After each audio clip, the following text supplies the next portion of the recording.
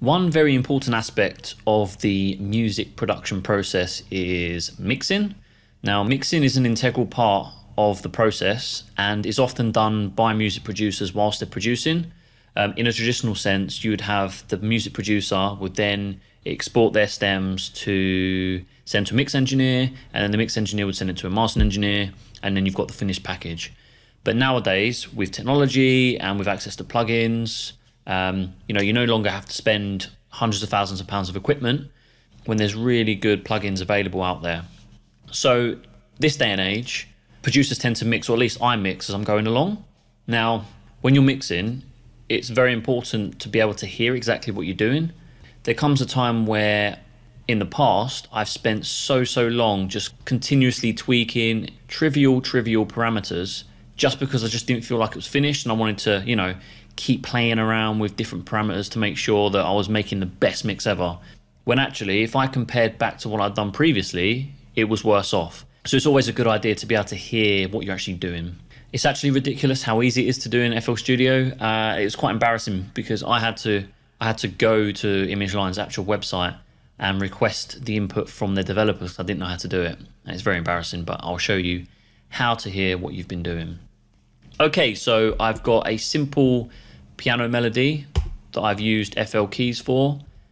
And then on the mix insert, I've got a copy of 2C Audio's B2 plugin. It's um, it's a plugin that you can use to create virtual spaces. Uh, it's kind of like a reverb, but it takes a little bit of a different approach. So I'm going to be using this plugin in my demonstration, but you can use any of ImageLine's stock plugins, such as the reverb or delay and so on. Okay, so the melody I've laid down is this.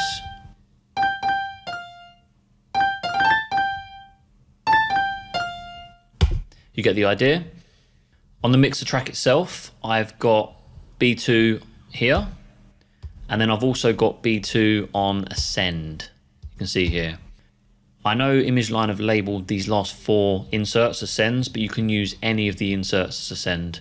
Essentially, all you've got to do is click on the mixer track and hit this little grayed out uh, sort of up arrow here, and now that's a send. So I'm sending 100%, if you look up here, 100% of, my, of the signal over to this insert. See? Cool, okay, switch that off. Switch this off. Cool, okay, let's flick through some presets of B2 and see what we've got.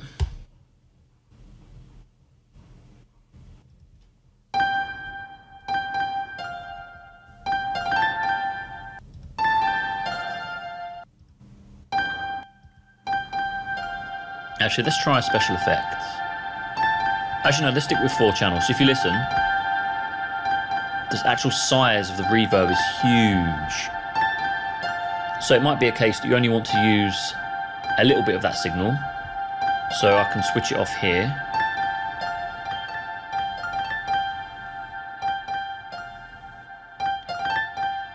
But I, I still can't really tell what this plugin's adding. Obviously you can hear you can hear the reverb, but you can't you can't differentiate between the signal return from the reverb and the original signal. This is kind of why I avoid using inserts directly on the channel itself uh, and not for sends. It's also beneficial if you want to send multiple inserts to the same plugin instance. Uh, it saves, saves CPU and it's just easier to control.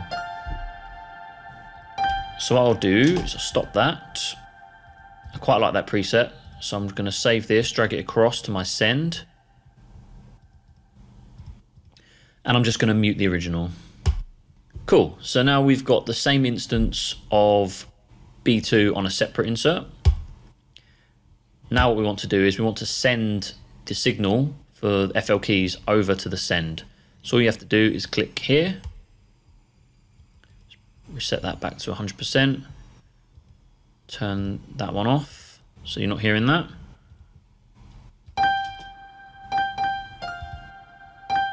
Turn that back up. So you're hearing the exact same sound as you were hearing when B2 was on the FL Keys mixer insert.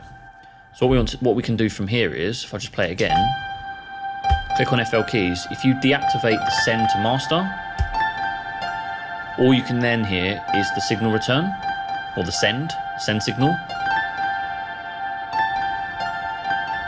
Mix them back in.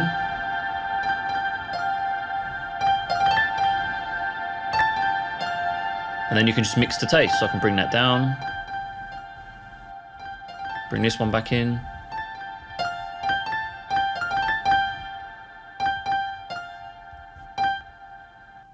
On the surface, you may be asking, okay, why are you disabling the send to the master when you can just deactivate the insert? Because the original signal is coming from insert 1, if you switch it off, it also switches off the send signal. So if we play,